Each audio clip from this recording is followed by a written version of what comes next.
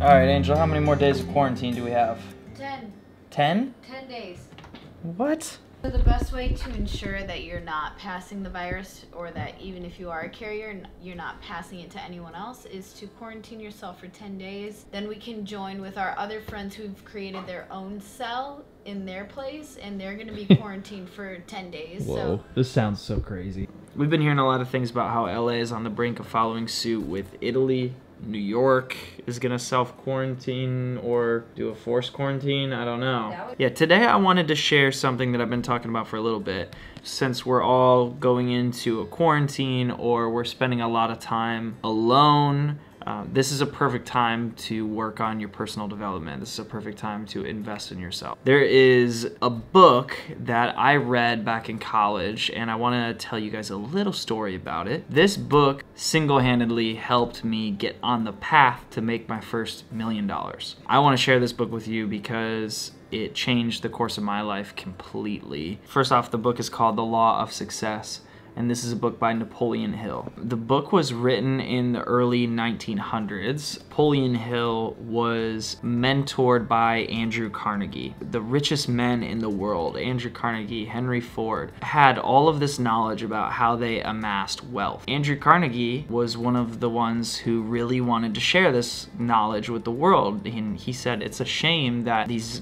billionaires are taking all of this knowledge with them to the grave. He commissioned Napoleon Hill to interview basically all the most successful people in the United States at that time. I mean, he interviewed Thomas Edison, Firestone, John D. Rockefeller, Charles Schwab, Woodrow Wilson, Edwin Barnes. I mean, the the list. Theodore Roosevelt. There's so many people that he spent some time with, and he basically downloaded all of their success principles and put them in 16 lessons in this book. As you can tell, this book is a little raggedy and old because this is the original book that I ordered off of Amazon when I was in college in 2000. I believe I was in it was 2014 when I first started reading this book. Highlighted a bunch of it. I've read this book at least five times front to back. I'm gonna start reading it again because it's so magical. Long story short, when I was in college, I was working three jobs at the time. I was filming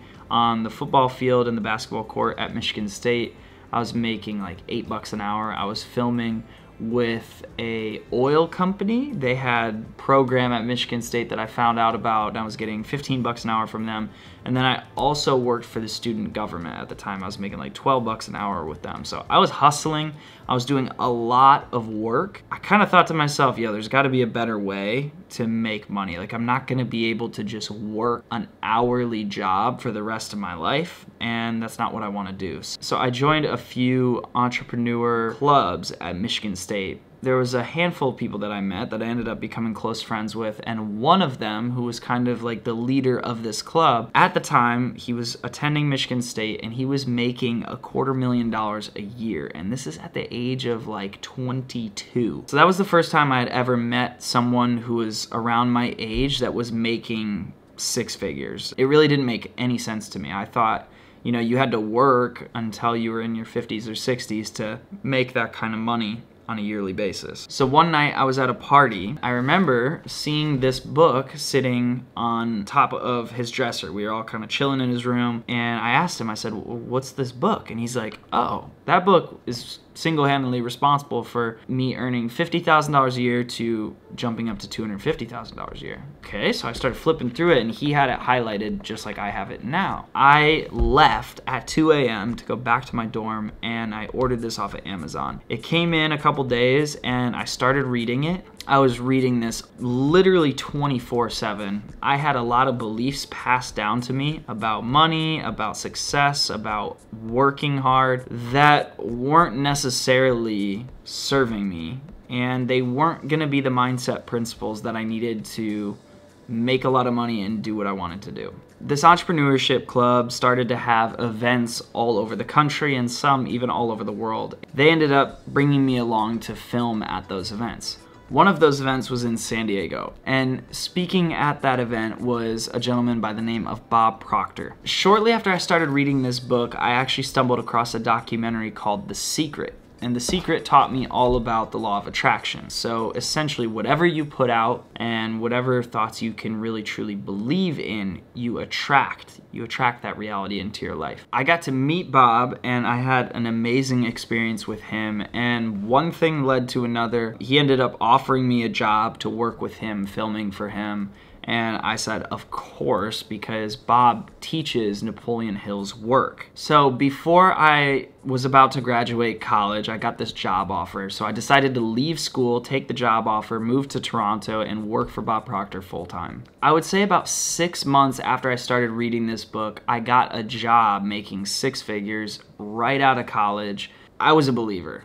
I believed every single thing in this book because how it transformed my life personally. I mean, I got uh, here I am sitting in college making 8 bucks an hour, 15 bucks an hour, 12 bucks an hour working 3 jobs, struggling to even pay enough of my tuition and my rent and food to 6 months later, I'm working with Bob Proctor. I'm flying with him on his private jet. We're going all over the world for his seminars and I'm filming them. I'm getting to absorb this knowledge. I'm just getting a wealth of mentorship. It felt like I was in some movie. About a year into working with Bob, at one of his events, I came up with the idea to create a company called Vybe Source. So that's why I got vibe tattooed on me because that was my first company. I went, I filed an LLC, I started a business, I brought on some employees, and we started to do social media consulting, social media advertising. One of the companies that I was working with, we had a product that we did drop shipping for and we made about $700,000 just from the product alone and then we made a bunch of other money from other sources of revenue. I'm not going to personally dive into how much money specifically we made from those things or Vybe Source started to get hundreds of thousands of followers. I, I got the message when I was at another event that this knowledge in this book needs to go to younger people. So I ended up moving to Los Angeles. I literally booked a flight to Los Angeles. I got an Airbnb five minutes outside of LAX because I knew nothing about California.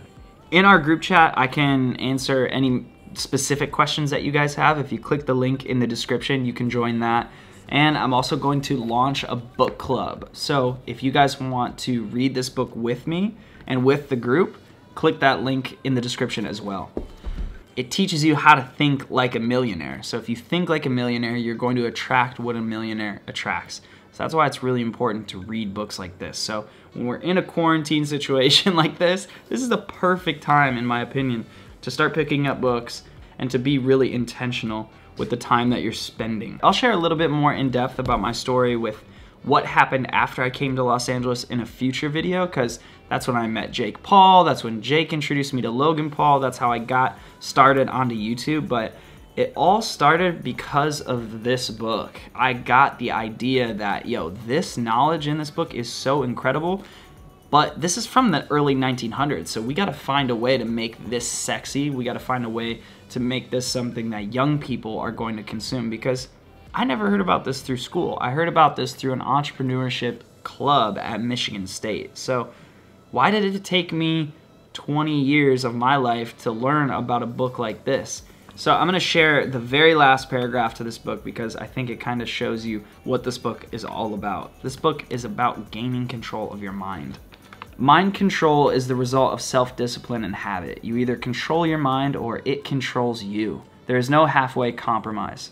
The most practical of all methods for controlling the mind is the habit of keeping it busy with a definite purpose, backed by a definite plan. Study the record of any man who achieves noteworthy success, and you'll observe that he has control over his own mind. Moreover, that he exercises that control and directs it towards the attainment of definite objectives. Without this control, success is not possible. So I think that's what's the problem in today's society is too many people do not have control over their minds.